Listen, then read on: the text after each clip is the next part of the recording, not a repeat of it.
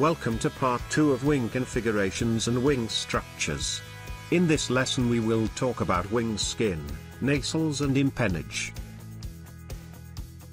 If you like our lessons don't forget to support us by liking the video and subscribe to our channel so you stay tuned and notified about new videos. Thank you. Wing skin. Often, the skin on a wing is designed to carry part of the flight and ground loads in combination with the spars and ribs. This is known as a stressed skin design. The all-metal, full cantilever wing section illustrated in this figure shows the structure of one such design. The lack of extra internal or external bracing requires that the skin share some of the load.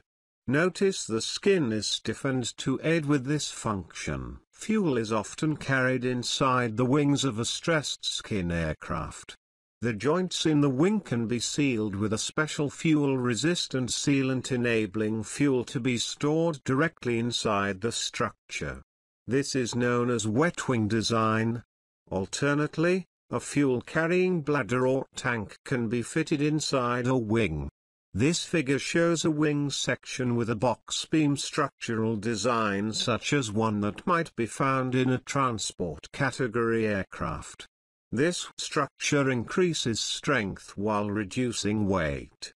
Proper sealing of the structure allows fuel to be stored in the box sections of the wing. The wing skin on an aircraft may be made from a wide variety of materials such as fabric, wood, or aluminium. But a single thin sheet of material is not always employed. Chemically milled aluminium skin can provide skin of varied thicknesses. On aircraft with stressed skin wing design, honeycomb structured wing panels are often used as skin. A honeycomb structure is built up from a core material resembling a beehive's honeycomb which is laminated or sandwiched between thin outer skin sheets. This figure illustrates honeycomb panes and their components. Panels formed like this are lightweight and very strong. They have a variety of uses on the aircraft, such as floor panels, bulkheads, and control surfaces, as well as wing skin panels. This figure shows the locations of honeycomb construction wing panels on a jet transport aircraft. A honeycomb panel can be made from a wide variety of materials. Aluminium core honeycomb with an outer skin of aluminium is common but honeycomb in which the core is an aramid fiber and the outer sheets coated phenolic is common as well. In fact, a myriad of other material combinations such as those using fiberglass, plastic, Nomex, Kevlar, and carbon fiber all. Each honeycomb structure possesses unique characteristics depending upon the materials, dimensions, and manufacturing techniques employed. Figure here shows an entire wing leading edge formed from honeycomb structure.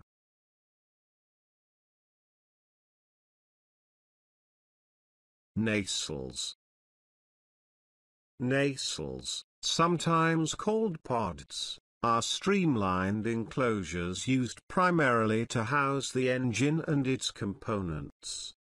They usually present a round or elliptical profile to the wind thus reducing aerodynamic drag. On most single-engine aircraft, the engine and nacelle are at the forward end of the fuselage. On multi-engine aircraft, engine nacelles are built into the wings or attached to the fuselage at the empennage, tail section. Occasionally, a multi-engine aircraft is designed with a nacelle in line with the fuselage aft of the passenger compartment. Regardless of its location, a nacelle contains the engine and accessories, engine mounts, structural members, a firewall, and skin and cowling on the exterior to fair the nacelle to the wind. Some aircraft have nacelles that are designed to house the landing gear when retracted. Retracting the gear to reduce wind resistance is standard procedure on high-performance-slash-high-speed aircraft. The wheel well is the area where the landing gear is attached and stowed when retracted. Wheel wells can be located in the wings and or fuselage when not part of the nacelle. Figure here shows an engine nacelle incorporating the landing gear with the wheel well extending into the wing root. The framework of a nacelle usually consists of structural members similar to those of the fuselage. Lengthwise members, such as longerons and stringers, combine with horizontal, vertical members, such as rings, formers, and bulkheads, to give the nacelle its shape and structural integrity. A firewall is incorporated to isolate the engine compartment from the rest of the aircraft. This is basically a stainless steel or titanium bulkhead that contains a fire in the confines of the nacelle rather than letting it spread throughout the airframe, as shown here. Engine mounts are also found in the nacelle. These are the structural assemblies to which the engine is fastened. They are usually constructed from chrome, molybdenum steel tubing in light aircraft and forged chrome slash nickel slash molybdenum assemblies in larger aircraft. As shown here, the exterior of an nacelle is covered with a skin or fitted with a cowling which can be opened to access the engine and components inside. Both are usually made of sheet aluminium or magnesium alloy with stainless steel or titanium alloys being used in high-temperature areas, such as around the exhaust exit. Regardless of the material used, the skin is typically attached to the framework with rivets. Cowling refers to the detachable panels covering those areas into which access must be gained regularly, such as the engine and its accessories.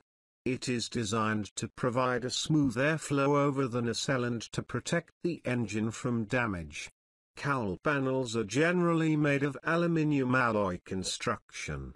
However, stainless steel is often used as the inner skin aft of the power section and for cowl flaps and near cowl flap openings. It is also used for oil cooler ducts. Cowl flaps are movable parts of the nacelle cowling that open and close to regulate engine temperature. There are many engine cowl designs. This figure shows an exploded view of the pieces of cowling for a horizontally opposed engine on a light aircraft. It is attached to the nacelle by means of screws and or quick-release fasteners. Some large reciprocating engines are enclosed by orange peel cowlings which provide excellent access to components inside the nacelle. As shown in this figure these cowl panels are attached to the forward firewall by mounts which also serve as hinges for opening the cowl. The lower cowl mounts are secured to the hinge brackets by quick-release pins. The side and top panels are held open by rods and the lower panel is retained in the open position by a spring and a cable. All of the cowling panels are locked in the closed position by over-center steel latches which are secured in the closed position by spring-loaded safety catches. An example of a turbojet engine nacelle can be seen in this figure. The cowl panels are a combination of fixed and easily removable panels which can be opened and closed during maintenance. A nose cowl is also a feature on a jet engine nacelle. It guides air into the engine.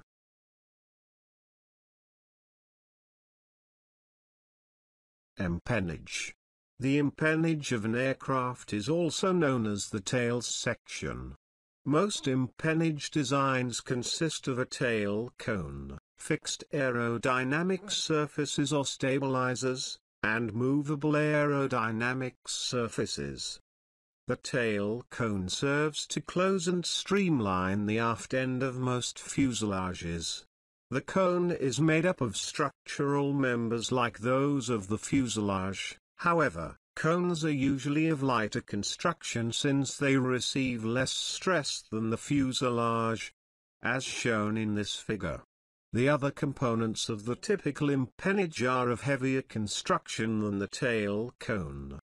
These members include fixed surfaces that help stabilize the aircraft and movable surfaces that help to direct an aircraft during flight. The fixed surfaces are the horizontal stabilizer and vertical stabilizer. The movable surfaces are usually a rudder located at the aft edge of the vertical stabilizer and an elevator located at the aft edge the horizontal stabilizer. As shown here. The structure of the stabilizers is very similar to that which is used in wing construction. This figure shows a typical vertical stabilizer. Notice the use of spars, ribs, stringers, and skin like those found in a wing. They perform the same functions shaping and supporting the stabilizer and transferring stresses. Bending, torsion, and shear created by air loads in flight pass from one structural member to another. Each member absorbs some of the stress and passes the remainder on to the others. Ultimately, the spar transmits any overloads to the fuselage. A horizontal stabilizer is built the same way. The rudder and elevator are flight control surfaces that are also part of the empennage discussed in the next lesson of this course. This is the end of lesson 3, part 2. If you like our course please support us by liking the video and subscribe to channel. Help to see you in the next lesson about flight control surfaces. Thank you.